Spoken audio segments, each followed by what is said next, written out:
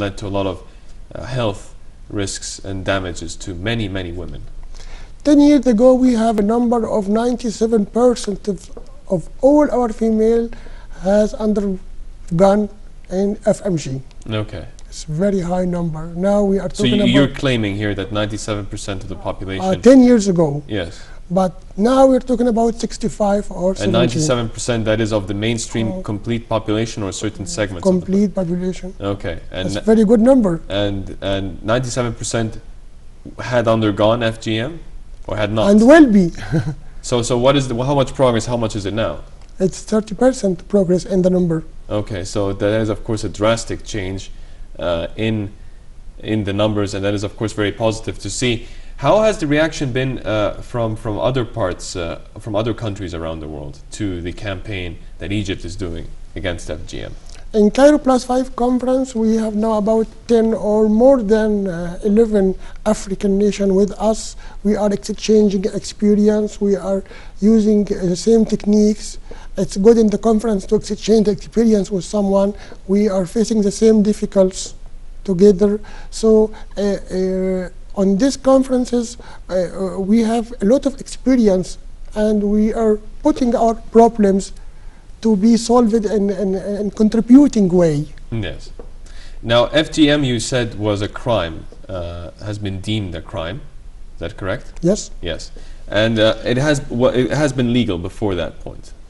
It has been legal before in special conditions. Okay. If the doctors say it needs some kind of correlation, if the doctor say uh, this, but now it needs uh, it's a, a real crime if it's done only for the circumcision. Okay. a very small numbers of females. Of course, they need a little bit of, of, of plastic operations, but it's not the majority. It's Yeah. not all of the female must be undergone for this bad custom. Yeah. Now, I mean, FGM, we talked about the roots, the causes. Uh, is enough being done against FGM in Egypt, or would you like to see more awareness and more campaigns No, no, and, and, no. and more efforts in general? No, we need to do a lot of more than this.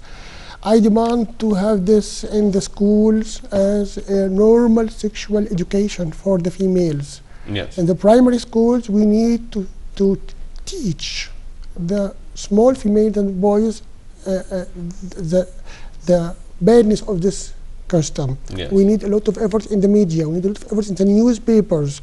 We have to concern on the victims.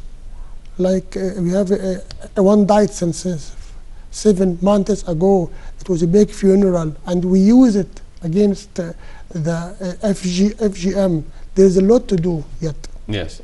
Are there still people going around and saying that there is a religious link with FGM? Yes, yes. And that is, of course, one side that is causing you resistance, right? So there is clear resistance from some parts of the population saying that people like you who go out and campaign against FGM, you know, despite its correctness and its validity and its full justification, they still say that you're wrong and they're trying to convince people otherwise.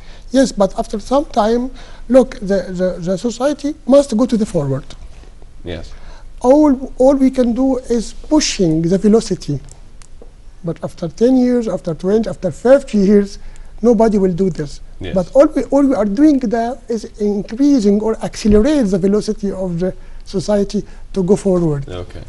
Now, another thing that might be interesting to know is in your efforts and in your campaigns going out uh, promoting uh, the removal of FGM in, in, in daily practice of some people, how do, how do the husbands and the men and the, uh, the breadwinners, if you will, of families, how do they react to what you have to say about FGM? D- are they more defensive or more welcoming of your of No, your they are more welcoming. Now with the internet and the media and the open skies, they know a lot about this and they know it's bad, so they are welcoming not to do it with their brides, not to do it with their sisters. The, Yes. the problem now is concerning on the very deep areas in the Upper Egypt. Okay. Well, and so what is what is your outlook for the next six months, for the next year, for the next two years in terms of FGM and the current efforts uh, that are being exerted to reduce FGM? We are managing to have a big conference after one year, and then we discuss our results, we are uh, planning to uh, to raise the number by at least 10 to 15 percent for the population. Uh, our short uh, number helps us to have statistics, to have records. Yes. We are following uh, anyone who is encouraging these things.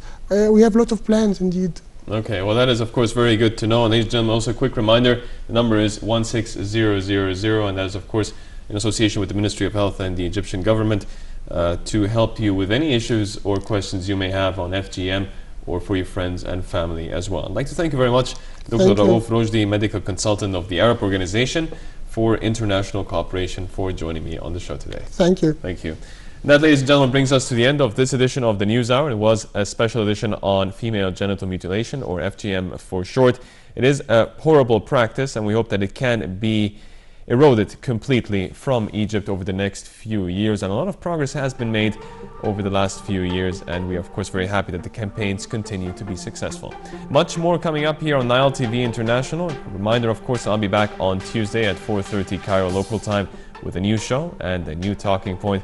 I'm Yusuf Gameluddin, and thank you for joining us.